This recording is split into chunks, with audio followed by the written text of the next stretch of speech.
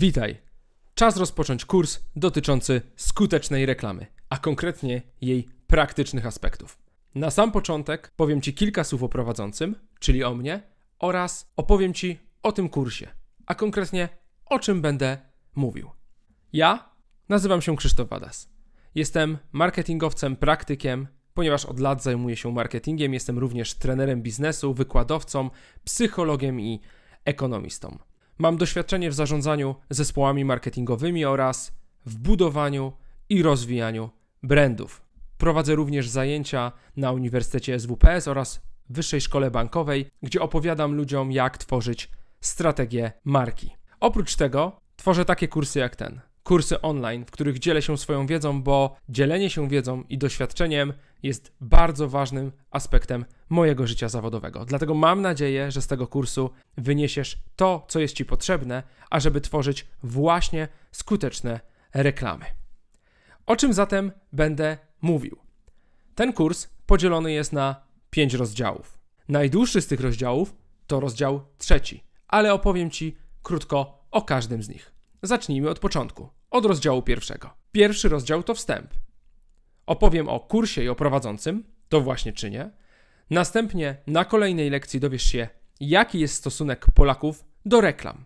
W rozdziale drugim zajmiemy się grupą docelową, ponieważ tworząc reklamę, musisz wiedzieć, do kogo chcesz trafić.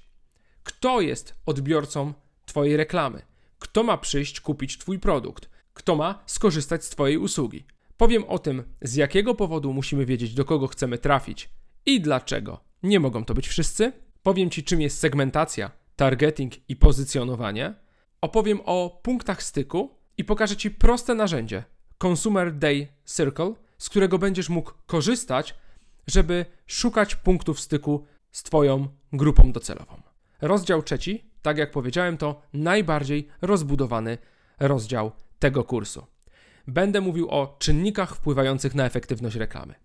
Pierwszym czynnikiem jest branding, dlatego powiem o tym, jak czasem tworzy się branding, a jak powinno się go tworzyć, oraz opowiem o aktywnym i pasywnym brandingu w reklamie.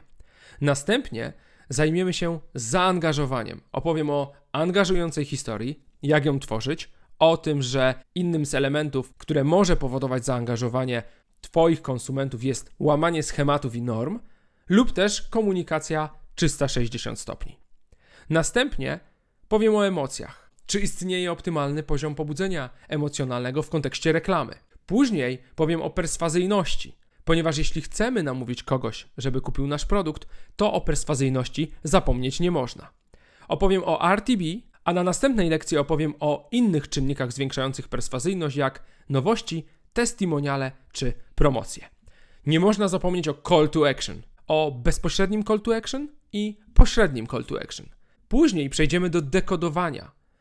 Zwrócę uwagę na to, że jasny przekaz jest kluczem do tego, żeby odbiorca zrozumiał Twoją reklamę, a następnie do unikalności, inaczej wyróżnialności reklamy. Na sam koniec pokażę Ci kolejne narzędzie Ad Checking List, dzięki któremu w bardzo prosty sposób będziesz mógł sprawdzić, jeżeli będziesz szczery sam ze sobą, czy reklama ta którą tworzysz, ma szansę być skuteczną. Rozdział czwarty to jedna lekcja, ale która pokazuje, że zasady, o których powiedzieliśmy, są ważne, natomiast jeśli tworzysz kreację pod YouTube'a, to musisz pamiętać o jeszcze innych zasadach, które nie są tak ważne, kiedy tworzysz reklamę do telewizji. No i piąty rozdział to lekcja bonusowa. Lekcja bonusowa, w której opowiem Ci o overpromisingu, Overpromising to coś, co może pogrążyć Twój produkt i również Twoją markę. Opowiem o overpromisingu na przykładzie Forda Excela i Cyberpunka.